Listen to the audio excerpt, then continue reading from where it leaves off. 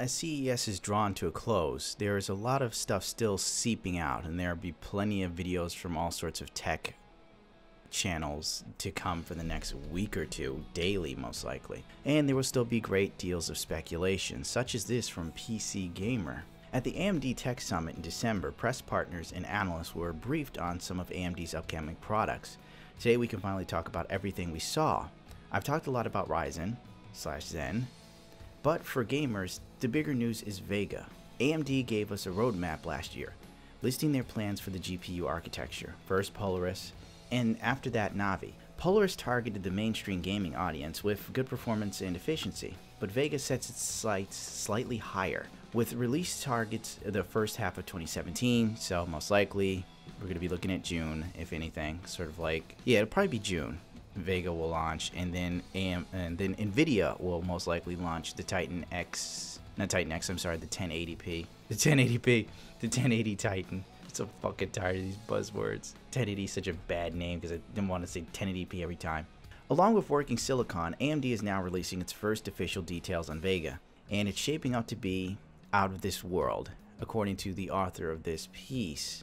Vega builds on everything that makes Polaris great, but it's not simply a bigger chip with more cores. AMD didn't provide Vega core count or clock speed, but it'll likely be 4096 core clocks at around 1.5 to 1.6 gigahertz. The reason the author believes that it can be so specific is that AMD has also announced a new line of mach machine intelligence accelerators uh, called Radeon Instinct MI6, thank James Bond, MI8, MI25. Now the MI25 uses Vega and will provide up to 25 teraflops with 16 float points half that of 32 float points, which means that the baseline for Vega is about 45% faster than Fury X. Chew on that for a minute. 45% faster than Fury X should put it well above the performance of a 1080 and possibly even eclipse the Titan, and therefore the 1080 Ti. It's not just about the teraflops, however AMD has reworked several key elements of their GCN architecture a major one being the memory subsystem. Vega includes 8 possible 16 gigabytes of HBM2 in its two stacks. These deliver the same 512 gigabytes of bandwidth as 4 stacks of HBM1 in Fiji. But with those two stacks, the silicon interposer doesn't need to be as large, and HBM2 densities allow AMD to double or potentially quadruple the amount of memory. We've seen quite a few instances where the 4GB limit performance in Vega takes care of that problem. But AMD isn't calling the HBM or VRAM, it's now a high bandwidth cache, HBC. And there's also a new high bandwidth cache controller, HBCC, which I've already touched on before in a previous video. But I figured that that one part that I read was the most interesting. If Vega is 45% faster than the Fury X and it's fully capable of taking on the 1080 the Titan and the 1080 Ti, this could really change the game for graphics cards in the market. It could also make a huge boost to AMD. We also know that AMD usually prices better than Intel. We also know AMD prices better than Nvidia.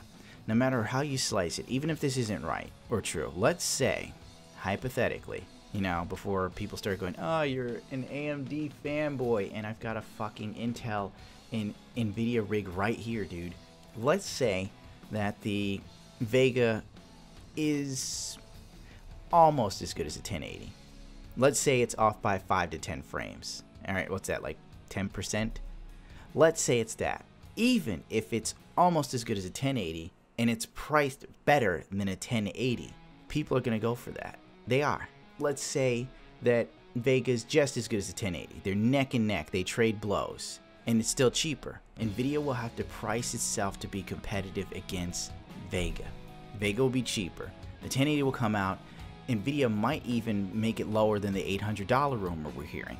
And then they'll definitely drop the price of all the rest of the 10 series cards. Right now, Nvidia is in a holding pattern. They are holding on to the 1080, waiting to see what exactly Vega can do before they make their next move.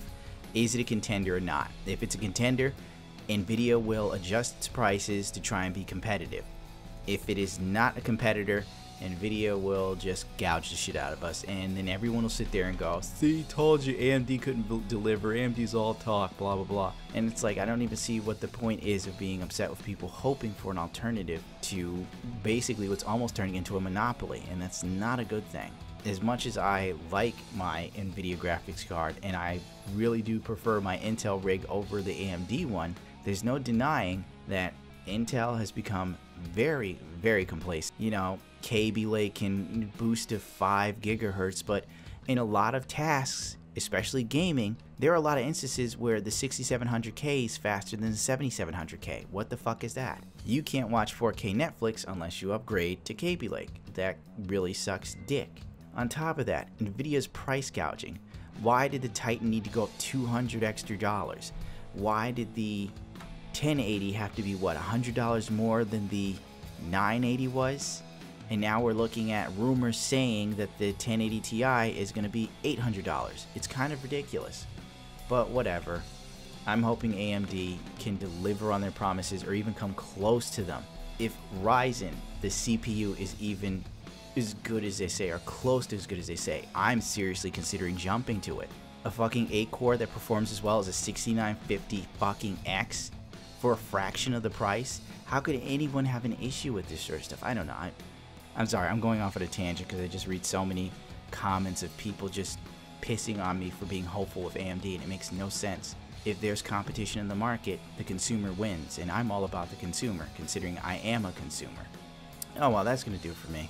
I definitely need a nap. Don't forget to rate, comment, subscribe. Thank you as always for tuning into my channel. Uh, you know, if you don't want to, that's cool too. You know, fuck it. Live your life, brother. That's what I say. And find the single healthiest hooker your money can buy in your town.